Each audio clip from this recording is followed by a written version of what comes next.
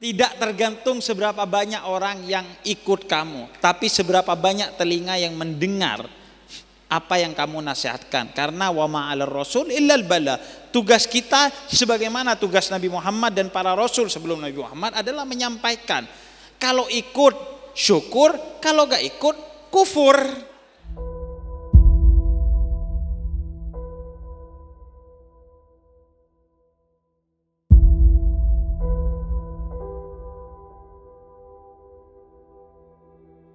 Selalu rindu untuk nyantri.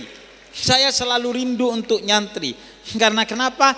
Karena pesantren dia memiliki sesuatu yang tidak dimiliki oleh sekolah lainnya. Sekolah lainnya mungkin punya ilmu, sekolah lainnya mungkin punya akhlak. Ilmu itu diistilahkan sebagai kognisi. Akhlak itu diistilahkan biasanya sebagai afeksi. Dia ada di sekolah, mau SMA, SMP, SD, TK, dia mengajarkan ilmu dan mengajarkan akhlak, mengajarkan amal. Tapi ada satu hal yang belum tentu ada di luar tapi pasti ada di pesantren, yaitu keberkahan.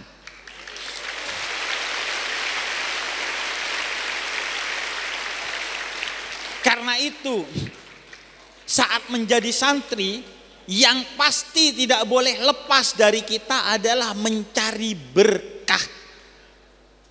Ada seorang datang ke pesantren mau belajar kepada kiai tentang ilmu ikhlas. Kemudian kata kiai, ya sudah tunggu kamu eh, sapu itu halaman rumah saya.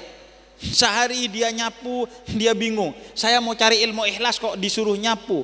Akhirnya seminggu dia nyapu, dia makin bingung kok saya cuma suruh nyapu terus. Sebulan dia nyapu mulai sakit hati kepada kiainya. Saya ke sini mau cari ilmu kok malah suruh nyapu. Saya ke sini nyari ilmu ikhlas kok malah suruh nyapu. Sampai tiga bulan dia sudah mulai, hah ya sudahlah saya nyapu aja nunggu panggilan dari kiai. Setelah satu tahun dia kemudian ya sudah apa pun yang dikatakan kiai saya ikuti saja. Saya suruh nyapu saya ikhlas untuk nyapu. Begitu dia ikhlas nyapu halaman kiainya maka kata kiainya ke sini kamu sekarang saya kasih ijazah tentang ilmu ikhlas karena kamu sudah lulus sebagai orang yang ikhlas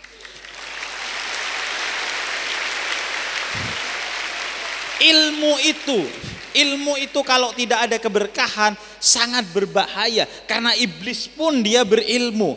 Maka kekuatan dari ilmu itu adalah pada keberkahannya. Dan itu pasti ada di pesantren. Dan mungkin tidak ada di luar Mungkin ada, mungkin tidak ada kalau di sekolah luar. Tapi di pesantren keberkahan itu pasti ada. Karena itu jadilah santri yang selalu bukan hanya memburu ilmu dan akhlak, tapi memburu keberkahan. Dengan apa? Menjaga nama baik gurunya, menjaga nama baik pesantrennya, khidmat kepada pesantren dan kiainya, menjaga segala kehormatan dari alma maternya.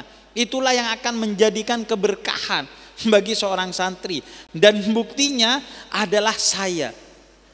Kalau jenengan kalau jenengan menganggap saya ini lumayan sukses maka ya kan saya satu juta subscriber.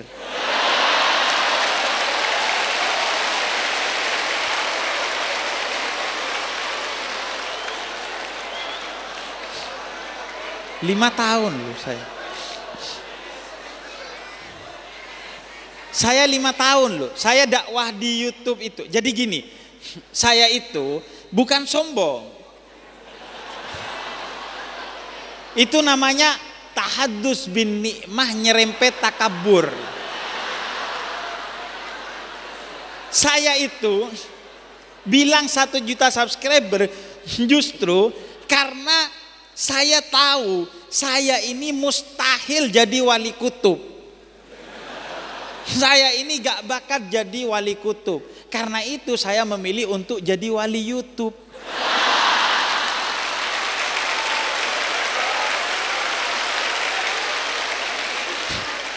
Jadi saya bilang satu juta subscriber bukan sombong, justru halah jadi wali YouTube doang. Nah, kalau Anda menganggap saya alhamdulillah, iya kan gini ya, lima tahun berdakwah di YouTube satu juta subscriber itu lumayan loh. Nabi Nuh itu 950 tahun berdakwah.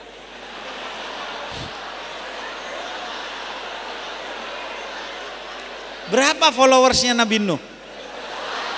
73 orang loh.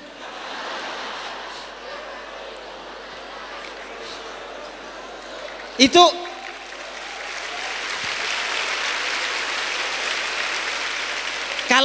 kalau di Instagram itu gak centang biru itu loh. Tapi makanya dakwah itu bukan seberapa banyak orang yang mengikutimu, tapi seberapa banyak kamu menyampaikan kepada orang lain. Makanya yang jadi nabi adalah Nabi Nuh bukan saya. Tidak tergantung seberapa banyak orang yang ikut kamu, tapi seberapa banyak telinga yang mendengar apa yang kamu nasihatkan. Karena wa ma'al rasul illal bala. Tugas kita sebagaimana tugas Nabi Muhammad dan para rasul sebelum Nabi Muhammad adalah menyampaikan. Kalau ikut syukur, kalau gak ikut kufur. Nah, kalau Anda melihat saya sebagai orang yang alhamdulillah sukses dalam dakwah, maka saya katakan, jangankan di luar sana, tapi di Lirboyo sendiri, Gus dan Ningnya ini itu jauh lebih cerdas dari saya, jauh lebih pintar dari saya. Saya kenal, saya kenal kepada Gus dan Ning Lirboyo. Mereka itu jauh lebih pintar dari saya. Kemudian di luar sana terlalu banyak jutaan santri yang lebih unggul dari saya. Tapi alhamdulillah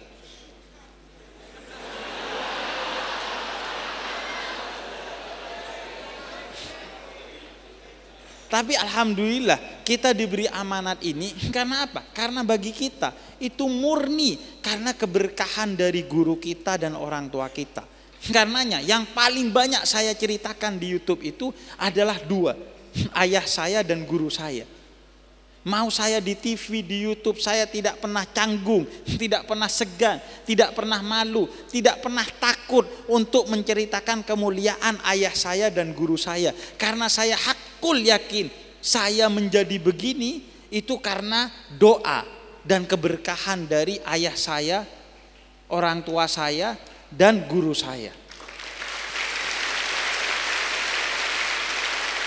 Maka manfaatkan keberadaan jenengan semua di Lirboyo ini untuk mencari ilmu, mencari akhlak dan mencari keberkahan.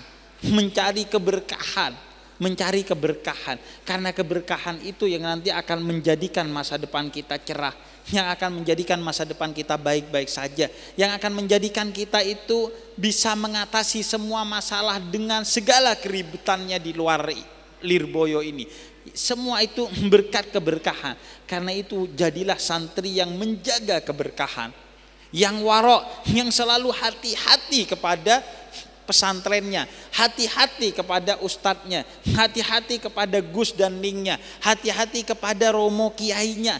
Jangan ada sedikit pun prasangka, apalagi suudon kepada mereka. Jangan ada sedikit pun ketidakhormatan kepada mereka walaupun tanpa didengar mereka, walaupun saat kamu sendiri, walaupun sekedar terbesit di pikiranmu, walaupun sekedar ada di lubuk hatimu, jangan ada sedikit pun kekurang ajaran kepada kiai, kepada Gus, kepada Ning, kepada orang-orang yang telah berjasa kepada kita, karena di sanalah letak keberkahan ilmu kita. Sebab kata Sayyidina Ali bin Abi Thalib, aku adalah budak, aku adalah budak bagi orang yang mengajariku walau satu huruf maka jagalah keberkahan itu.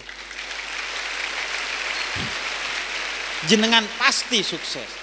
Jenengan pasti sukses. Kalau jenengan sungguh-sungguh mencari ilmu, sungguh-sungguh mengamalkan akhlak dan sungguh-sungguh mencari keberkahan di Lirboyo, maka kalian pasti saya hakul yakin akan sukses bukan hanya di akhirat. Sudah pasti santri itu insya Allah masuk surga tapi masalahnya kadang di dunia miskin. Nah makanya insya Allah di dunia juga sukses. Percayalah, Anda cari ilmu, cari akhlak dan keberkahan di sini. Saya yakin, saya yakin yakinnya Anda akan menjadi pribadi yang sukses. Insya Allah kelak.